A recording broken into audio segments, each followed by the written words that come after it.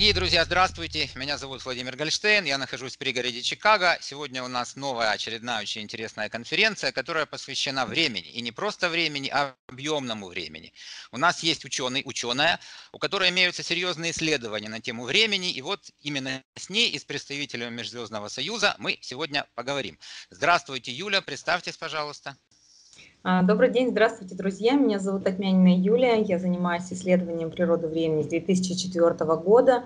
И за это время сделала очень много а, наблюдений, исследований, написала книгу а, «Пришла эра времени», изобрела часы объемного времени, настенные, настольные. У нас есть целая линейка инструментов, синхронографы, календари, и э, хотела вашему вниманию представить видеоролик, который мы сделали в 2009 году, и я думаю, что он будет вам интересен. И, э, жду этой встречи, чтобы э, ну, как-то соотнестись, потому что те знания, которые я использую, они базируются на исследованиях Хосе Аргуэлиса, э, Галактической Федерации, вот, исследований Майя, и мне кажется, это очень интересно. Сегодня будет разговор и встреча.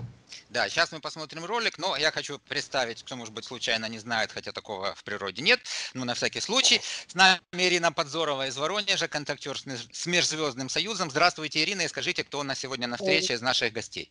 Здравствуйте, Владимир, здравствуйте, Юлия, здравствуйте, дорогие телезрители. Меня зовут Ирина Подзорова, я являюсь контактером с внеземными цивилизациями. И сегодня рядом со мной присутствует Рам Тиан с планеты Бурха, специалист по энергетическим взаимодействиям в окружающей среде. Эмиль Гаскаус с планеты Ислер, биолог, психолог, специалист по инопланетным формам жизни. Они готовы ответить на ваши вопросы. Здравствуйте. Так, здравствуйте еще раз. Ну и тогда мы дадим возможность сейчас Юле показать нам свой экран, и она нам продемонстрирует э, ролик очень профессионально хорошо сделан, который как раз и расскажет о ее теории объемного времени. Прошу. Цоля Хао. Архитектура времени в 3D. Время – самый неизученный предмет, на котором базируются все знания человечества. Для ориентации во времени люди используют два инструмента – часы и календарь. Часы с 12-часовым циферблатом показывают время суток – но по ним невозможно определить, какое время суток – дневное или вечернее. Малая часовая стрелка делает круг два раза, создавая эффект дежавю в сутках. Часы не связаны с пространством. Задумывались ли вы о важности гармонии ритмов времени в вашей жизни? Если нет, давайте попробуем разобраться вместе. С астрономической точки зрения мы наблюдаем оборот Земли вокруг Солнца как смену времен года в течение 365 дней. Они образуют круг, орбиту Земли вокруг Солнца. Оборот Земли вокруг своей оси мы наблюдаем как смену времени суток. Люди являются путешественниками во времени, летящими на едином корабле под названием Земля.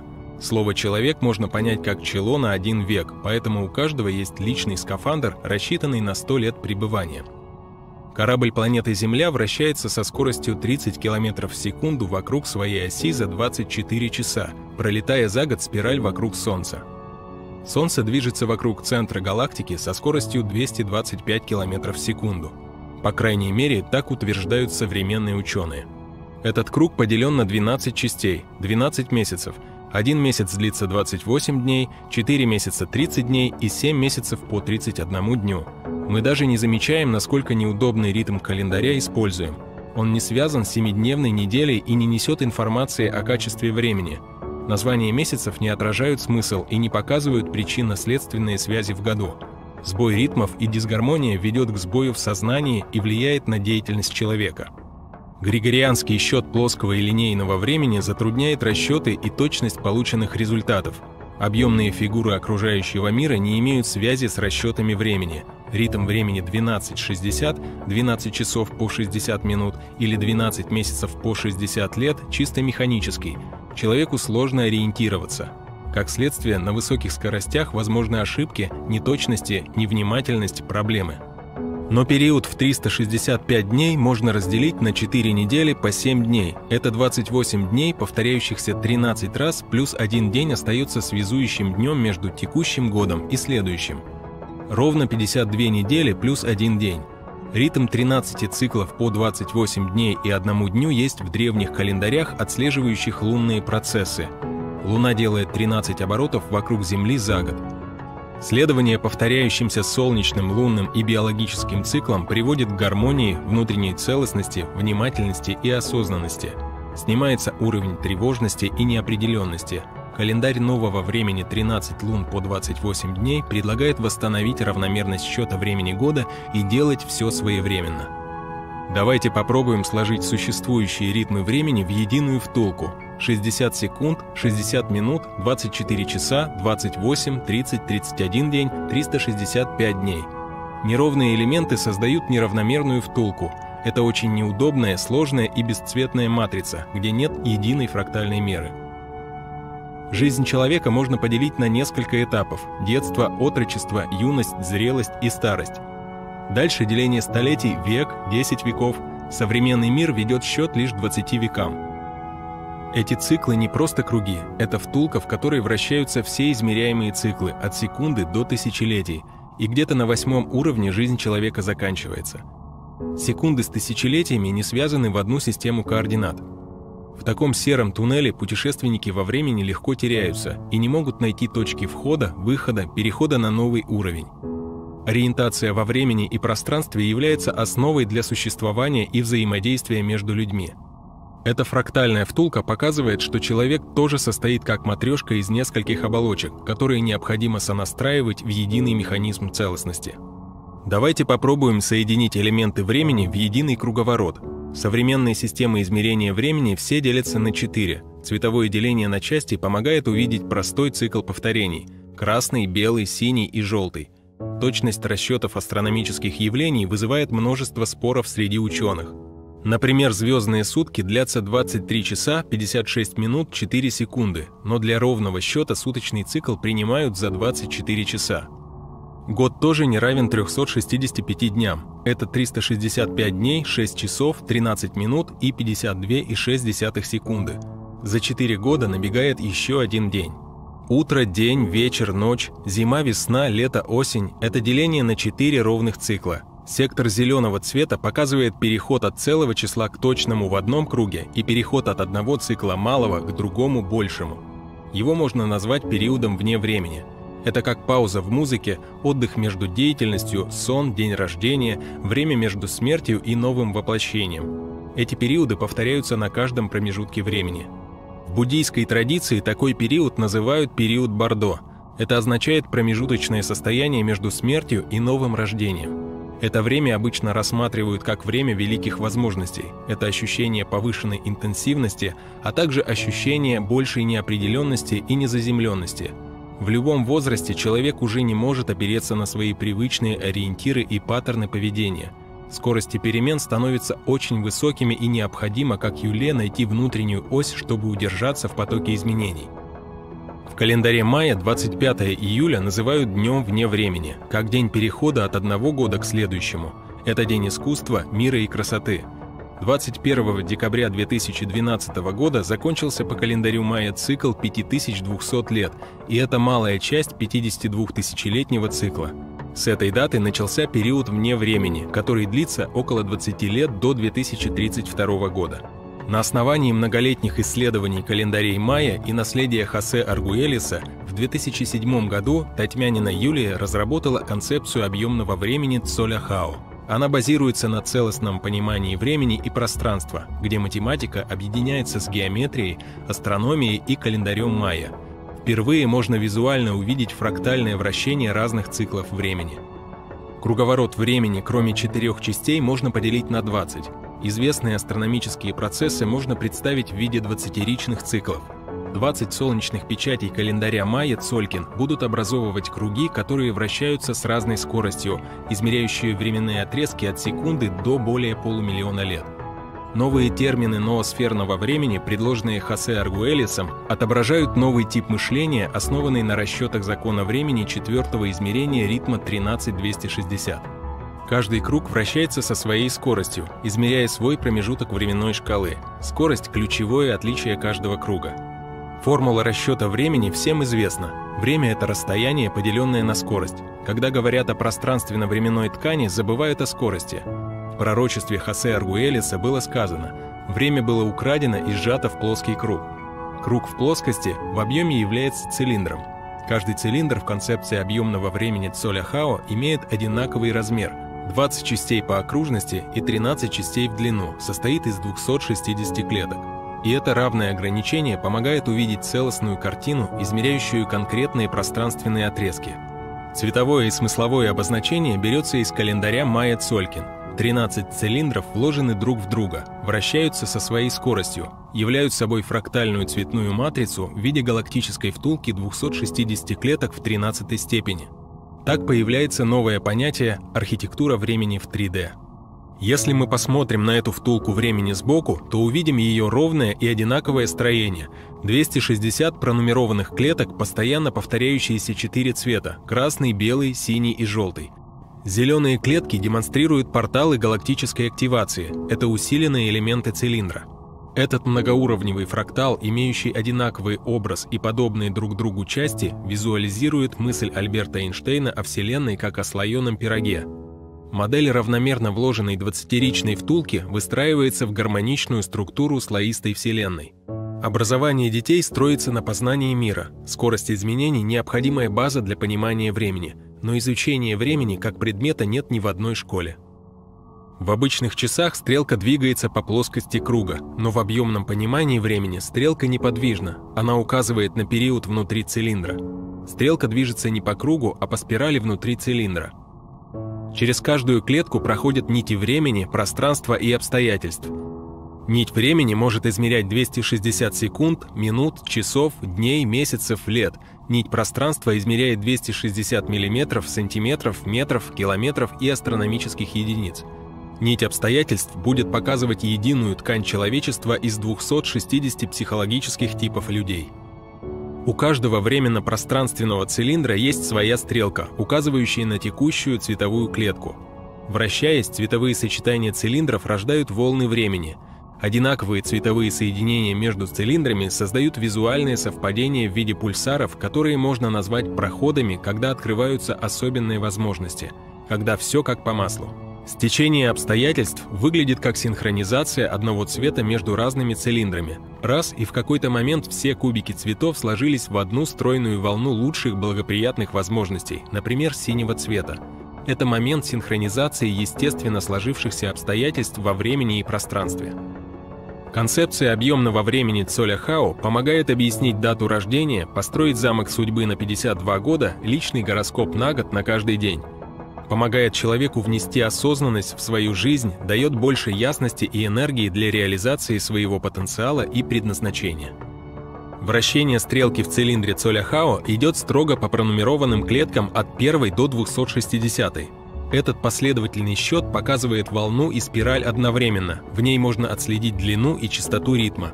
С одной стороны цилиндра кажется, что вращение идет по часовой стрелке, но при взгляде с другой стороны цилиндра движение против часовой.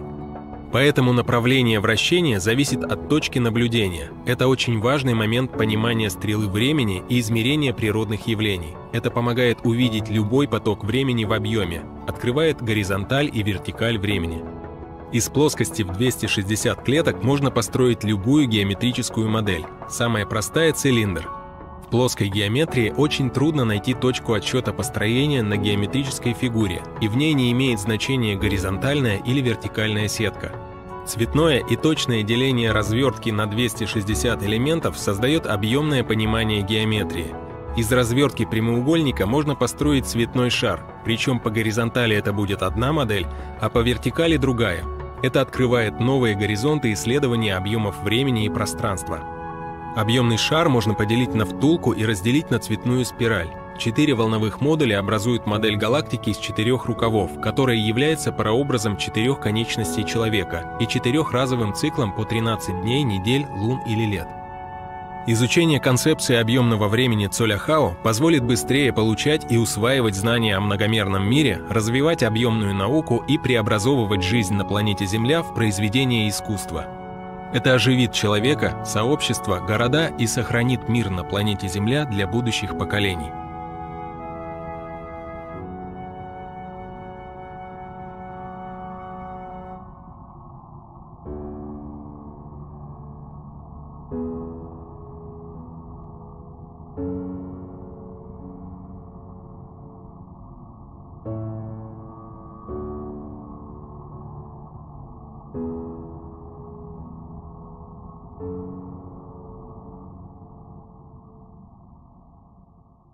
Большое спасибо, что а, у нас есть такая возможность поговорить. А, наверное, мне бы хотелось а, сначала узнать, а, кто а, с нами на связи, да, то есть чтобы быть более точно. То есть меня, конечно, интересуют вопросы времени. Вот.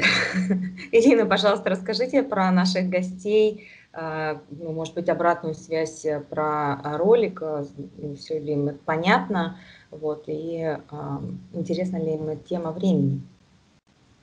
С нами присутствует Раум Тиан, физик с Бурхада, и Мид Гаскалов, биолог с Ислера. Угу. Да. Как прокомментируете, вот сейчас Рамтяна, он говорит, на Земле в разные эпохи и в разных странах существовали различные э, способы отсчета времени. Наше отношение к времени – это энергия сейчас.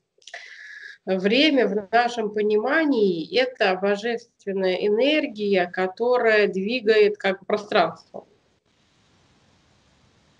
Mm-hmm. Потому что время, ну, а, это в духу, это с точки зрения восприятия э, частиц каждая частица, череда изменений каждой частицы во Вселенной, это есть, э, ну, как череда изменений, это значит, как э, каждое изменение как бы по очереди. Например, э, любое физическое тело состоит из частиц. Изменение каждой этой частицы, поток изменений каждой этой частицы называется временем. Э, с точки зрения физики Межзвездного Союза, время является энергией, которая движет, которая является двигателем, двигателем, причиной образования пространства и всех частиц в нем. Но само по себе без пространства, без материального мира времени не существует. как физического явления. В духовном мире, откуда мы все пришли, существует так называемое субъективное время, то есть не, э, не изменяющее духовную сущность, а которое является самозамкнутым на себя потоком э, восприятия. То есть их такое восприятие времени, что это энергия, которая пространство созда... Эм, создает движение в пространстве, и благодаря этому проявляются частицы. То есть одна из энергий, которая создает. И она не существует без материального мира. А что касается ролика, Здесь показан очень оригинальный способ э, отчета времени, э, соединяющий разные э, временные промежутки вращения, который основан на вращении небесных тел вокруг друг друга. И на самом деле такой цикл был известен в древности. То есть э, действительно это больше похоже на лунный календарь, но не сам лунный календарь, а на его некоторое соединение с солнечным календарем. То есть это вот так вот две разные вещи. Лунный и солнечный календарь, они использовались, бывало, по отдельности. И в, раз, в, а, в разных эпохах и в разных странах были характерны разные типы календарей по то есть отчета э, гор. Ну как вот месяца, как вы говорите, календаря, да.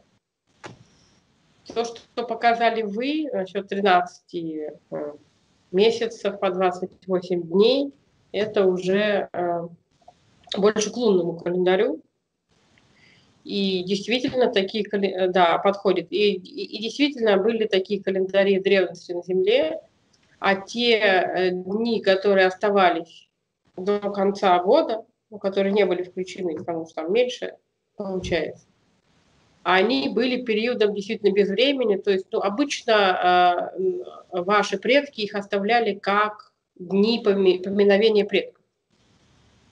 То есть соединяющие земной материальный мир с миром духов, ушедших людей.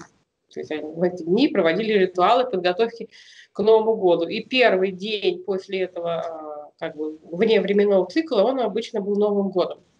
То есть днем Нового года. Когда-то это было связано с тем днем, когда в северном полушарии Земли э, начиналось э, ну, как прибавление э, светлого времени суток, то есть поворот земной оси, примерно где-то в конце марта, 21 23 это был Новый год. А перед этим было несколько, там, 5-6 дней было вне времени, которые от, отмечали, э, не отмечали, как были праздновали, да, дни, вот как сейчас примерно святки, только они были позже, не зимой. Вот. А насчет названий э, о месяцах и так далее, действительно, эти названия, которые пользуются сейчас русские люди, являются довольно современными. Изобретением ранее месяцы называли по их характеристикам, там, например, характеристикам природы, растительности, э, климата и так далее. А потом просто стали называть по именам, а, некоторые по именам богов. Например, Март, э, это идет от слова Марс. Э, почему стали называть Марс? Потому что считалось, что это первый день. Как раз вот связано с Новым годом. Э, в древности Марс считался покровителем ну, как года, вот как сейчас Э, он как считался покровителем года, потому что он был э, бог, это только потом он стал бог войны. А раньше он был бог земледелия и, и бог защиты. Я думаю, нам надо дать возможность Юле задать вопросы. Наверное, она уже какой-то получила, да, уже общий срез. И давайте вы уже теперь будете спрашивать, потому что наши уважаемые инопланетные друзья сейчас вам прочтут лекцию, и вы вопросы задать не успеете. Поэтому уже спрашивайте. Да, он уже просто да, объяснил, что там месяц, ладно, хорошо. Да, да, э, Ирина, огромное спасибо. Я не знаю, правда, как надо там кого благодарить, да, огромное спасибо за эту честь, потому что э, моих исследованиях эта часть уже ну, просто подтверждается, что да, действительно у народов были свои календари и имели э, разные циклы, разные названия, и э, но вот если мы сейчас поговорим про циклы, то в календаре года есть 29 февраля. Можно ли сказать, что этот а, один день появляется из-за того, что наша Земля двигается не по кругу, а по спирали, как бы э, а, увеличивая спираль? И когда у нас было, и то есть можно предположить, что когда-то у нас была спираль года из 360 дней, потому что есть такие календари, да, из 360 дней, а когда-нибудь она будет 366. То есть вот мы на своей планете, мы не можем этого увидеть, мы находимся как бы на своем корабле Земля, и это нам а, не видно. А вот инопланетным друзьям у нас видно, что Земля. Э, движется по увеличивающейся орбите а, на каждый год на 6 часов.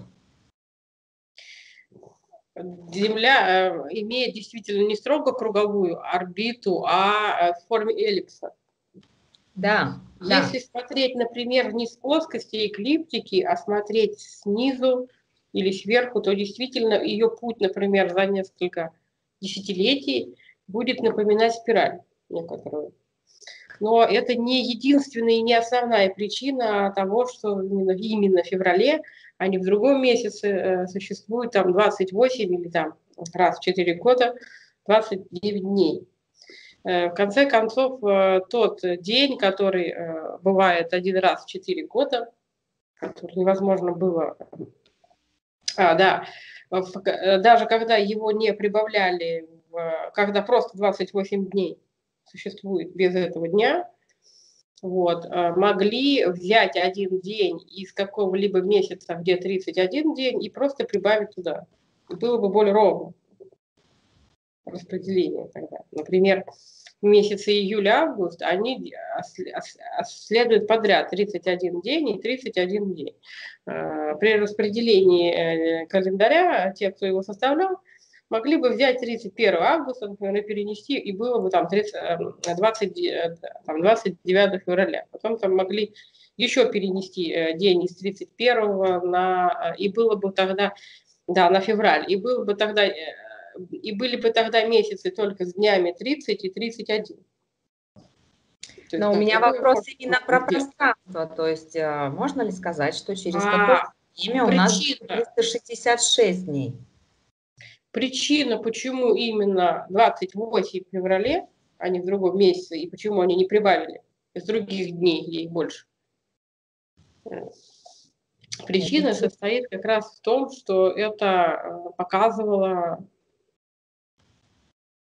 ну вот сейчас, да, Мидгаскаус говорит, это показывало то, о, о чем мы говорил Рамтиан, э, как раз показывало людям этот период без времени, как бы его сокращали, который следовал перед мартом. Вот, ну, просто он там сместился из-за того, что их там стало 28 при переходе лунного календаря на солнечный, когда стали переводить. 28 э, дней 1 э, марта, оно э, раньше было чуть позже, то есть вот, как я уже говорил, Новым годом. Оно там на 20 дней сместилось, и потом стало 21 вот когда у вас а, весеннее равноденствие. Поэтому а, при переводе лунного календаря по 13 как раз вот, э, да, по 28 дней, и на солнечный по вот эти, по, да, на современный вам, осталось 28 дней в феврале, потому, потому что между февралем и мартом как раз были вот эти дни, про которые говорил Рамтян. То есть это, это вот такой вот знак остался. Они были днем без, без времени. А что касается, почему 366 дней? А, сейчас 365 э, дней и 6 э, часов набегает э, больше. Да. И это означает, что раз в 4 года набегает еще один день. Соответственно, может ли через какое-то время орбита Земли быть 366 дней? То есть, а, то есть увеличится год? Да. Возможно ли увеличится год? Но за последние несколько, ну, можно сказать, тысяч лет э, практически не увеличилось намного. Вот. Так что по нашим расчетам этого не произойдет и в дальнейшем, по крайней мере, в ближайшую тысячу лет. Спасибо большое. Она стабильна. Да, орбита Земли, вот сейчас Рамтян говорит, она стабильна. То есть она, хотя и увеличивается вот эта вот спираль, но потом она снова возвращается к Солнцу, то есть она вот так вот по эллиптической орбите идет. Вот так вот. Проходит один и тот же путь практически. Поэтому существует и всегда 12 э, зодиакальных разведений которые примерно, можно сказать, по 30 градусов и на которой а, она основана там вся астрономия, э, потому что э, скорость вращения Земли и вокруг своей оси, и вокруг э, Солнца, она достаточно стабильна. Так да. же, как стабильна масса Солнца и Земли. А, а можно уточнить, а вот а, по математическим расчетам получается, что размеры Солнца и Луны ну, немножко не, со, не соответствуют тем, которые нам заявляют. Могут ли нам наши друзья как-то сказать, что астрономические знания о размере именно, размере Солнца и Луны точны? Я... Интересно. А в чем несоответствие? Просто они... Э, что им они надо справочники просто Солнце больше 10, что? Что Солнце больше 10 раз, э, чем Земля. Больше. Больше, да? Ну, ну, можно же задать вопрос глупый. Они э, больше на много сотен тысяч раз. Примерно, может, 800 тысяч раз больше а, а, диаметр. Угу. Хорошо, спасибо. Чем Земля. А, а тогда вернемся к исследованию темы а, взаимодействия а, Галактической Федерации и Межзвездного Союза. Хосе Аргуэлис, основатель науки времени, говорил в своих материалах, книгах, что знания пришли от галактических майя, от Галактической Федерации. Могли бы вот как-то пояснить, а что такое Галактическая Федерация и что такое Межзвездный Союз? И Галактической Федерации, и Межзвездный Союз – это э, собрание цивилизаций, которые имеют разные названия и разные назначения в галактике. Цивилизации, которые принадлежат к Межзвездному Союзу, могут входить или не входить в Галактическую Федерацию Света. Основное отличие Галактической Федерации от Межзвездного Союза в том, что в Галактическую Федерацию Света входят и гуманоидные цивилизации, и плазмоидные цивилизации. Причем плазмоидные цивилизации входят намного больше в Галактическую Федерацию, чем гуманоид. По словам гуманоидных я понимаю плотно-материальные формы. Все. И антропоморфов, и рептилоидов, и инсектоидов и так далее. То есть это плотно-материальная форма жизни. А под, по словам плазмоида я понимаю тонко-материальные формы жизни, которые существуют в иных измерениях и, э, и мерностях, э, и плотностях, и плотностях материального мира. Mm-hmm. И в Межзвездный союз входят только гуманоидные цивилизации. А в Галактическую Федерацию Света и гуманоидные, и плазмоидные. И можно ли сказать, что... Э, различаются еще э, место расположения столицы. Значит, у Межзвездного союза столица созвездия Лебедя, вот откуда вот Фрамтиан как раз, планета Бурхат или само название Эпикран, и э, столица Галактической Федерации Света, это в, в, в скоплении, в звездном скоплении Плеяды, и она ранее была э, в системе Сириуса, потом после разрушения планеты возле Сириуса переместилась в систему Плеяды. Это планета Футиса. Но это гуманоидная планета, и она, и, и она считается столицей Галактической Федерации Света. Сейчас, в данный момент. А можно ли сказать, что во всей Галактической Федерации единое измерение времени? У них Имеется есть? в виду э, одинаковые меры? Да. Нет, так сказать нельзя. А у каждой планеты свое понятие о времени, тем более они могут, они вращаются вокруг, э, как я уже сказал, в отличие от гуманоидного Межзвездного Союза, там присутствуют еще плазмоидные цивилизации, у которых такие понятия, как время, сильно а, понимание времени сильно расходится с гуманоидным. Вот как раз плазмоидные цивилизации, некоторые из них склонны представлять время не как череда а, изменений в материальном мире, а как некоторую фрактальную волну, которая накладывается на пространство и вызывает в нем завихрение, создающие там атомы и так далее. Ну, это просто масштаб другой, да, понятно. Угу. Да, а э, значит, гуманоидных цивилизаций у каждой планеты, которая вращается вокруг одной одиночной звезды, там двойной звезды, тройной звезды, бывают даже планеты, которые вращаются вокруг пятимерной, э, вокруг, вокруг пятикомпонентной там, звездной системы. У них совершенно разные модели времени, которые зависят от, естественно, от их исторического прошлого э, который, э, в свою очередь, зависит там, от времени обращение их планеты вокруг там каждого, например, из Солнца, вокруг обращения там их спутников и так далее. То есть у них там сложная система, это у вас одиночная звезда, а если она двойная, тройная, все это усложняется, так как э, орбита может быть нестабильна э, в какие-то периоды истории этой планеты, и э, приходилось даже и орбита может становиться нестабильной при взаимном изменении компонентов звездной системы. И бывали даже такие случаи, когда Галактическая Федерация Света совместно с Межзвездным Союзом приходилось восстанавливать орбиты планеты и э, в более стабильное состояние, если они вдруг по каким-либо причинам выходили из него.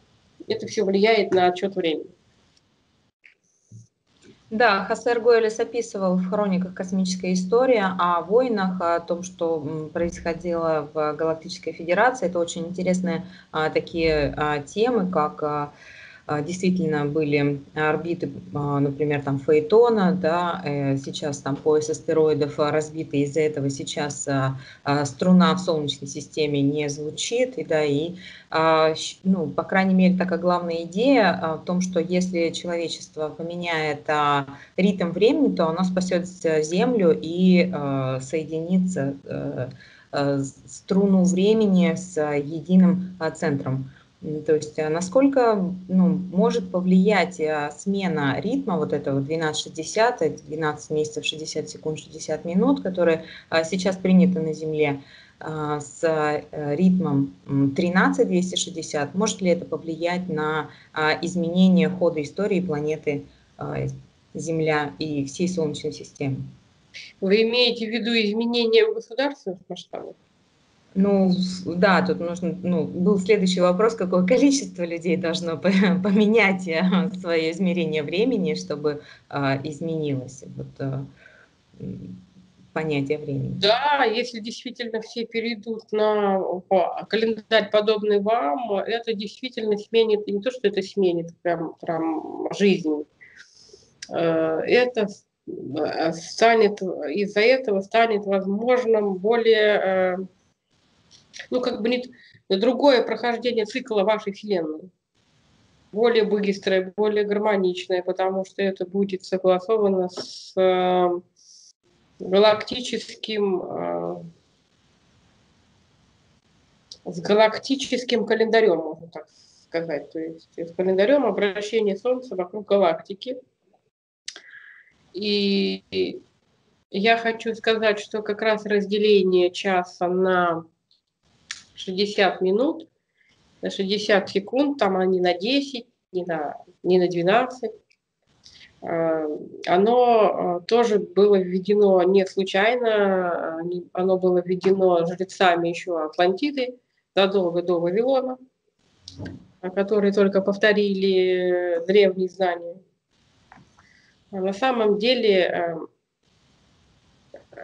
разделение на 60 э, и на 24 и так далее обозначало э, ну, как бы универсальную энергию э, круга, так как время постоянно бежит по кругу. И это зависело не только от циферблата часов, а от циферблата можно было написать любые цифры, на самом деле.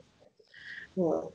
И вот это вот 60 минут и 60 секунд – оно обозначало... Э, деление круга, да. Да, оно обозначало деление круга по несколько градусов. Ну, и они связали градусы с минутами и секундами. Ну а почему тогда не было дальнейшего отражало, шага? Это отражало строение небесной сферы. Вот как вы понимали, астрономы, они наблюдали за звездами, и все это отражалось на часах, то есть на вот этом представлении, что, ну, например... Да, э, можно же было пройти дальше и сделать год, поделить на 60 а, дней, да, это было бы всего лишь 6 э, э, месяцев по 60 дней, и у нас было бы 360 дней, и вот у нас было бы тогда а, такое деление очень удобно по 60. 50 секунд, 60 минут, 60 там, дней. Почему? Э, что не поделили? Э, год на 60 дней. Почему год не поделили на 60 дней? Да, также было бы удобно. То есть 60, 60, 60. Ну, Думаю, это вопрос, э, да, не, не, это просто размышление, это не вопрос. 60, и тогда было бы сколько месяцев? 6. Понимаешь, в чем дело? Дело в том, что а, на самом деле до войны, 12 тысяч лет назад, которое прошло, в Солнечной системе было 12 планет. 12, число 12 обозначало число гармонии небесных сфер. После того, как а, Фаэтон был уничтожен, осталось 11 планет. Фаэтон был уничтожен, вот он мне говорит, Плутон сейчас исключили из планет. Угу. А еще одну планету еще не открыли. Угу. На самом деле там существует несколько, ну, а вот та вот крупная планета, которая э, существует в э, космосе за орбитой Плутона, там существует несколько можно сказать, несколько десятков мелких астероидов, но вот крупное небесное тело, они его не открыли. Пока еще ваши ученые, но оно существует. И это была тоже планета. Mm-hmm. такой системой Солнечная система стала не сразу. Две внешние планеты, они появились от другой звезды. Угу. То есть они были захвачены притяжением крупных э, планет внешне, э, крупных планет, как, э, как бы гигантов вот этих вот газовых имеется в виду Нептун, Уран, Юпитер и так далее, Сатурн, который, пролетая, Солнечная система пролетала близко от звезды, захватил там их крайние планеты за счет крупных внешних планет. Произошло, ну, может быть, примерно 2,5 миллиона лет назад, 3 миллиона лет назад. Но на Земле еще не существовало вот такой вот жизни, э, то есть э, может быть, там 4 миллиона лет назад. То есть это еще не существовало такой разумной жизни на Земле. Только ее открыли недавно на нашу планету и уже проводились эксперименты по созданию человека, но еще не было такой разумной жизни. Насколько я помню историю, конечно, Солнечной системы. Но тем не менее, до войны, когда уже существовала цивилизация на Земле, э, древние астрономы которые были контактерами, знали о том, что существует 12 планет. И э, это для них была гармония небесной сферы. Исходя из этого, они умножили число 12 на число, которое обозначало человека, а, а в нумерологии число, обозначающее человека, это было количество э, его энергии, его пальцев на руках, это было 5. 5 на это было число человека. А? И умножив его на 12, получили 60. То есть э, там час стал состоять там из 60 э, минут, то есть они там э, разделили, соответственно говоря, и каждую минуту на столько же секунд и так далее. И число 60 тоже появилось не случайно, потому что это число уровней, ну как бы число уровней материального мира. 60 уровень уже считается духовным. А 59 уровней плотности – это весь материальный мир. То есть с 1 по 3 – это плотный материальный мир, с 4 там, по 59 э, э, считается тонкий материальный мир. То есть вот э, тоже отражает это число. А так как время является характеристикой именно материального мира, то именно здесь и проявляется это число 60. А можно ли сказать, что дата рождения, а, которая э, есть у каждого человека, в ней а, заложены коды времени, которые влияют на а, некое предназначение человека и его ленту времени, то есть что она имеет какую-то а, хотя бы примерную предопределенность? Я, действительно, дата рождения, она вычисляется заранее еще в духовном мире, которую родится человек. Ну, не для того, чтобы предопределять, а для того, чтобы показывать тем духом, который, тем специалистам, тем духом, которые умеют вычислять по формулам времени, временного, так сказать, не кольца, цикла перевоплощений, умеют вычислять характеристики духа, который воплотился, его духовный уровень и жизненные задачи. Действительно, в Межзвездном Союзе существует такая наука, нумерология, она по-вашему будет называться, или духовная нумерология, которая вычисляет именно а, уровни духов, откуда они воплотились, и вычисляет различные характеристики их там физического тела, их чакр и так далее, по специальным формулам. Но это не предопределяет, а показывает, какой дух воплотился. Угу. Так же, как, а, например, натальная карта. Она показывает по планетам, то есть э, расположение планеты в их в, в знаках зодиака, в домах гороскопа, оно известно ангелам-консультантам, которые рассчитывают, когда дух должен родиться в теле, когда уже человек должен родиться. И по этой карте, вот этих вот натальных карт, происходит рождение э, зачатого ребенка уже э, как бы на свет, появление на свет. И даже если э, бывало очень много раз бывало такое, что по срокам женщине нужно было рожать, но ангелы-наставники, например, задерживали рождение на несколько дней или ускоряли его, потому что не было нужного соединения планет.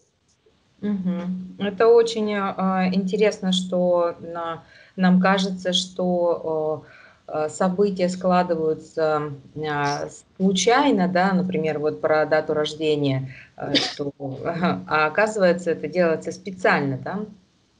Ну, то есть вы, а вас посылают вашу душу в определенный день родиться, чтобы показать вам, с какого уровня. Вот, например, когда вы родились? 24 мая. 24 мая. Во-первых, в прошлой жизни вы были мужчиной. Угу. А какого года? 77-го. Сейчас, две минуты. 20. А вы подождите, подождите, подождите. Подождите, давайте поговорим. Я сейчас, это займет меньше одной минуты. 24 мая 77-го. Так, сейчас 24 плюс 16. Там еще имя играет роль. Не только дата рождения. Да, имя, дата рождения. У вас Юлия? Да, красивое имя, которое может быть и мужским, и женским, да. Так, ладно, я ваш уровень рассчитала, я вам потом его скажу. Да, да, потому мне кажется, это э, не, не настолько важно нашим слушателям. Да, это совершенно не важно сейчас. Да, э, вот э, что и, э, получается, что у человека есть ограничения во времени, да, то есть он э, э, ему дается чело на век, да, то есть, ну, примерно 100 лет человек может а, прожить. И у него есть а, временные ну, какие-то обязательные элементы, да, то есть по телу. Наш возраст показывает, как тело состоит. А бывает, что человек не соответствует возрасту, да, то есть, например... Вообще слово «век», «век», слово «век» и слог, э, составной слог, это э, слог, трехсоставной, трехсоставный слог. А в древности, как известно, было слоговое письмо, и каждый слог обозначал неопределенный э, символ. Вот если разобрать слово «человек», э, то э, мы можем рассмотреть слог «век», он был отдельно. Он обозначал понятие вообще времени. Любое время называлось веком. А вот слог «чело», он состо... слово «чело» он состоял из двух слогов. Че и ло. Если мы рассмотрим значение этого, этих слогов, то мы получим такое а, понимание слова «человек». Слово «че» обозначал разум. Разум, ум, а, некоторая мыслящая субстанция, че или чи. От слова, отсюда, например, слово читта в древнеиндийском понятии. Или там русское слово «читать», то есть э, близкое к этому. И э, ло обозначало сосуд, вместилище, некоторое э, какое-то помещение. Ну, обычно переводилось словом сосуд. Таким образом, обозначало человек разумный для разума сосуд временный. То есть для разумной да, сосуд, сосуд времени для разума, да? Да, сосуд времени для разума. Не то, что, то, есть, то, что э, человек – это некоторое такое э, биологическое существо, в котором воплощается дух, и он именно биологическое вот это тело, оно временное. Да. То есть сосуд, как бы подчеркивалось этим. А если само слово «время» рассмотреть с этих да. позиций, то соединение двух согласных В и Р и гласная любая на конце этих соединений, то есть мы здесь получаем ВР, обозначало вращение. Вращение, кружение, некоторый круговорот чего-то. А ма или мя обозначало рождение или рождать. Отсюда слово маб. Так вот, слово время состояла из двух слогов «вре» и «мя», обозначала вращение рождающий. То есть как раз обозначало, что именно время, как такая энергия, она создает вращение всех миров вокруг друг друга. То есть это знания, которые я говорю, и которые отображены в ваших словах, конкретнее в русском, но можно рассмотреть и на другом языке, там будет то же самое, просто иные аспекты откроют. Это все знания ваших же древних жрецов, которые они зашифровали сначала в слоги, а потом в слова. Ну вот э, можно сказать, что у нас было украдено понятие времени э, и о времени, и э, сейчас какое-то идет такое восстановление знаний о времени. И это очень интересно, что сейчас мы начинаем понимать о слогах времени и как это ну, построено было раньше. Эм, можно ли каким-то образом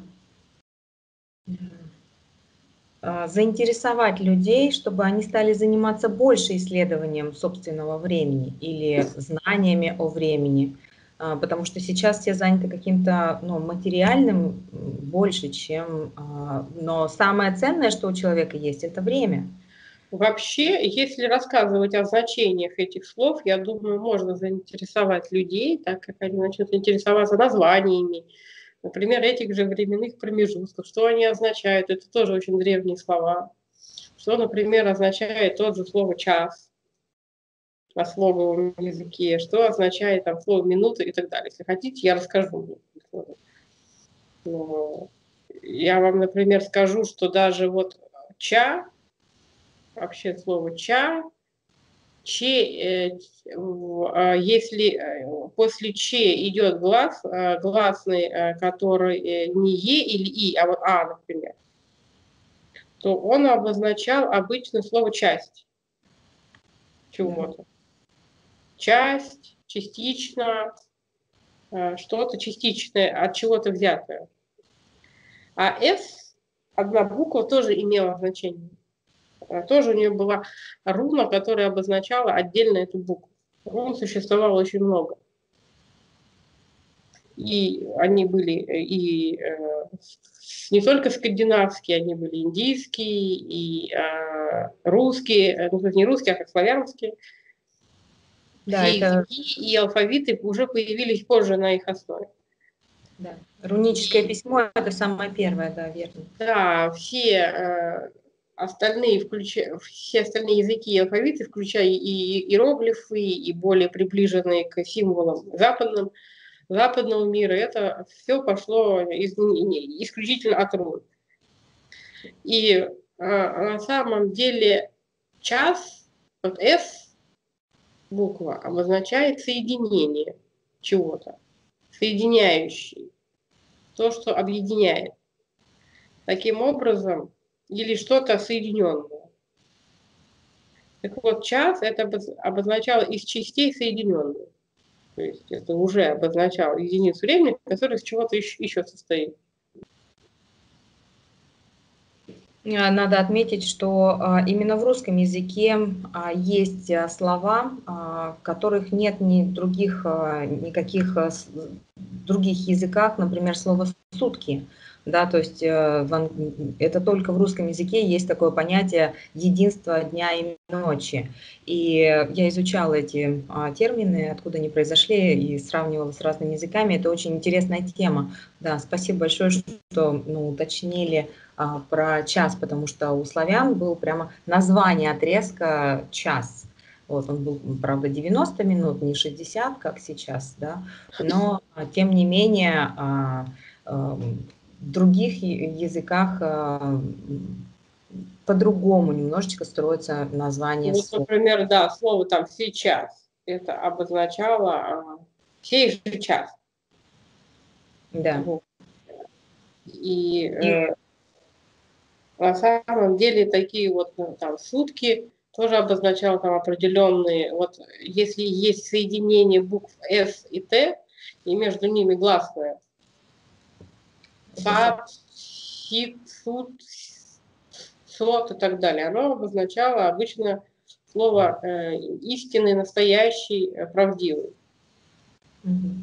А вот ки, ки, оно обозначало некоторые, э, можно так сказать, даже не переводимое на современный русский язык, потому что это слово исчезло из оборота, но оно осталось в индийском языке, что-то наподобие жизненной силы пространства, как прана, акаша, акаши и так далее.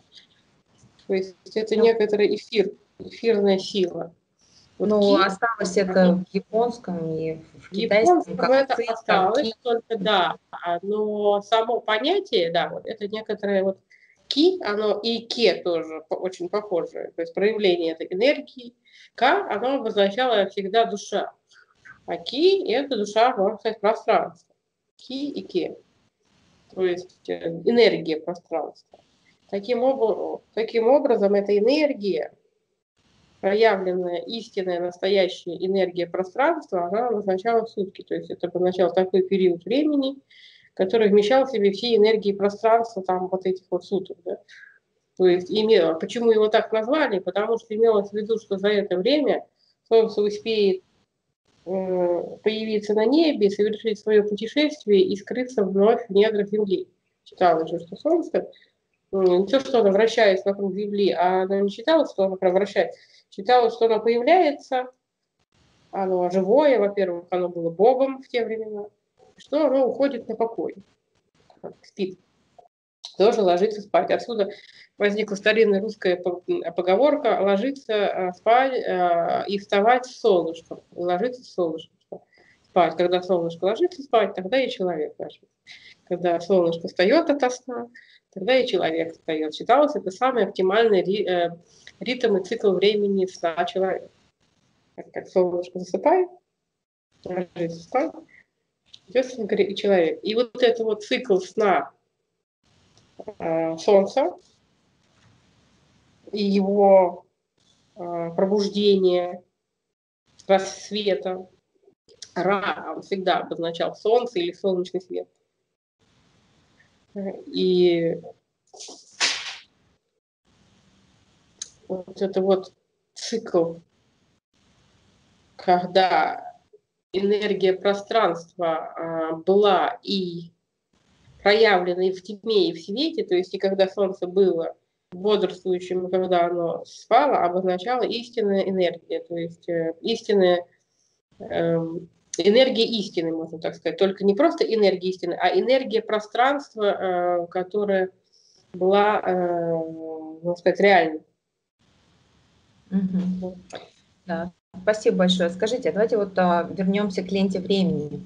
А, получается, у каждого человека есть а, своя лента времени.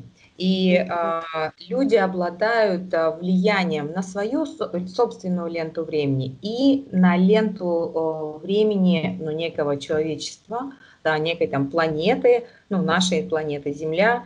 И вот у меня в связи с этим два таких больших вопроса.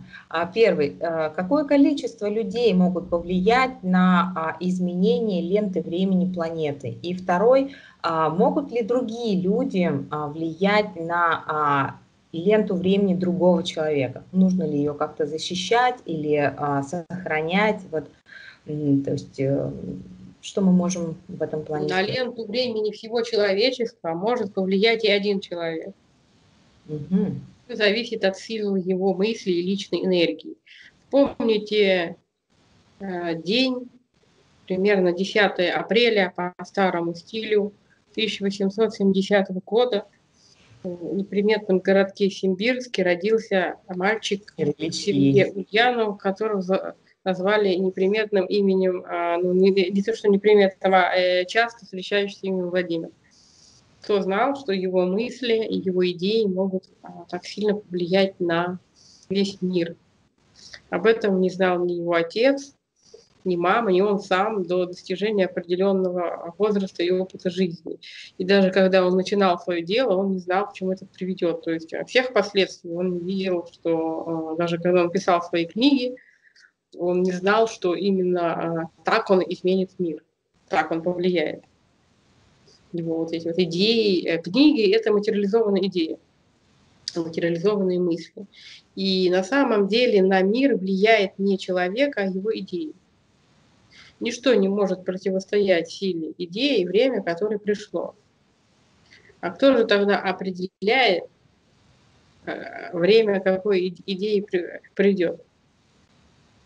Определяет готовность человечества в целом к тому или иному этапу развития.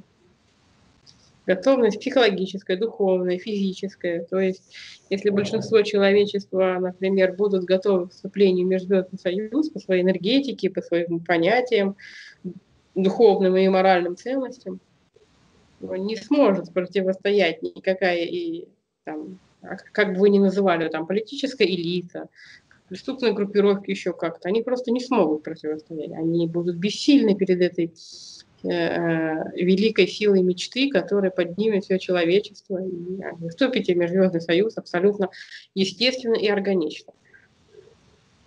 Ну, а если на ленте времени человечества а, и планеты такое событие, его можно как-то увидеть или предугадать, или, или остается это только мечтой?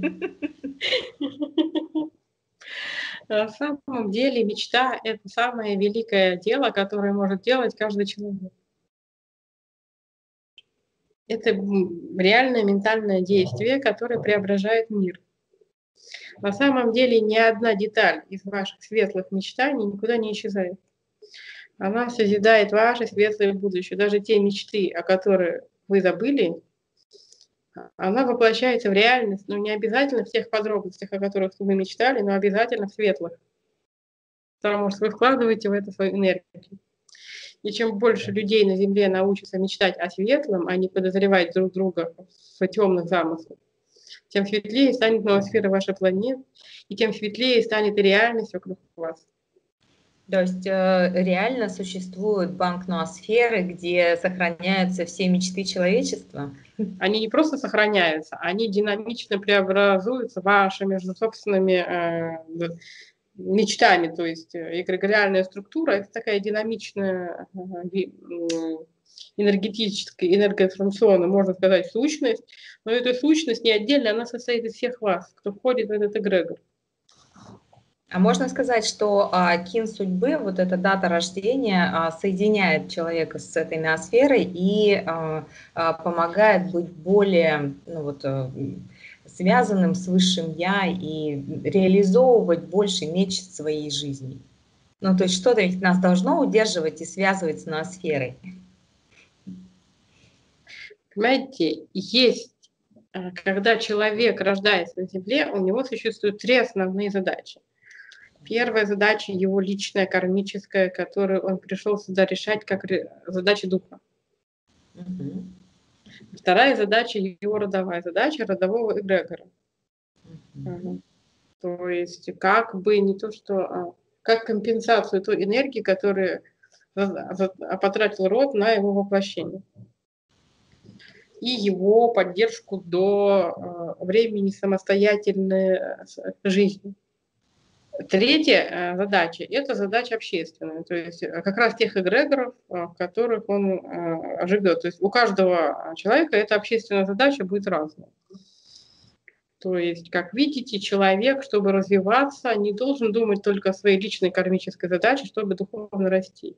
Он должен также позаботиться о своем роде и о этом обществе, где он живет.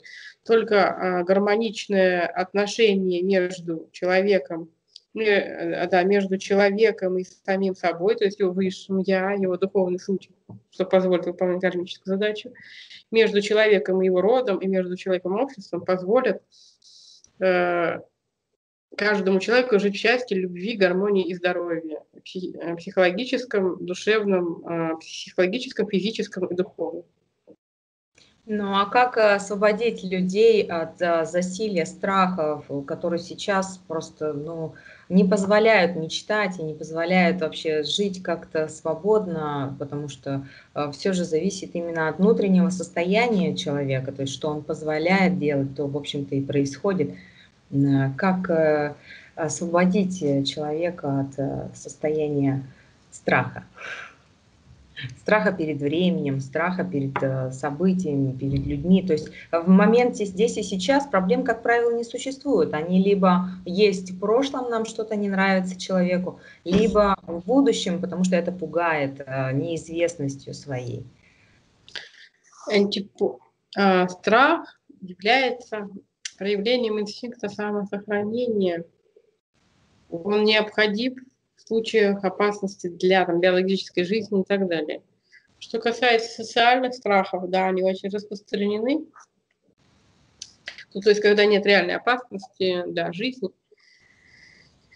тем не менее, существуют страхи ущерба, отсутствие любви, принятия какого-либо э, обиды какой-то, да, там, то есть человека что обидит, что его обманут. Э, эти страхи очень распространены, и они могут быть преодолены, преобразованы в себе только с помощью энергии любви, так как без э, роста веры, доверия к миру и к себе, и к окружающим не может быть пре, преобразования этого страха. Учитесь любить, учитесь доверять себе и окружающим. Учитесь не проверять, а верить а, на слово. Тогда вы только откроете свое сердце тем благостным изменениям, которые, несомненно, ждут вас в будущем, если вы откроете свою душу навстречу божественному свету. Бог вам бесконечно доверяет и любит вас. И поэтому учитесь и учитесь быть подобным Ему, чтобы соединиться с Ним и с Его ангельским миром в едином потоке совершенства абсолютной энергии Вселенной. А у меня вот насчет страха вопрос. А может ли удалить э, из поля человека все страхи, глубокое понимание, осознание того, что его дух вечен, ему не грозит ничего похожее на уничтожение, что физическая смерть всего лишь переход в другое качество, если он будет точно понимать, что он бесконечен. Поможет ли это на пути ликвидации вообще всех страхов? Если он будет при этом любить Бога, да. Если он будет бояться, что эта вечность будет для него страданием, нет, не устранишь. Спасибо. То есть если он будет, опять же, доверять Богу, что он его любит и будет любить его в ответ. Такое, э, такое чудесное э, наставление нам дали, как, э, что нужно увеличивать объемы любви, но как сейчас это сделать, с какими институтами, какими... Ну, ну да, то есть у нас сейчас нет ни образовательных инструментов, ни религиозных инструментов, да, которые бы а, помогли людям а, ну, а, погружаться, развивать, идти по этому пути, как увеличивать объем любви. Прямо это теперь задача из задач. О, как интересный вопрос. Отличный вопрос. Это уже интересует ответ. А, на самом деле а, институты, вот вы говорите, нет институтов, у вас есть самый совершенный для вас инструмент в данном времени и пространстве, это ваше тело физическое. Да. У физического тела есть различные инструменты для проявления любви к своим ближним. В первую очередь их любить сложнее всего, так как э, эта любовь может быть нарушена их э, поведением, которое не вписывается в рамки вашего э, представления о том, кого нужно любить. И эм, дело в том, что у землян э, существует, ну не только у землян, у, у земля, и мы сейчас говорим конкретно про землян, да, то есть у людей существует такое понимание, что если любить не идеальное существо, этим можно навредить себе. Принять в себя его неидеальность, его духовный изъян. Существует такая вот подсознательная, можно сказать, страхи практически у каждого человека.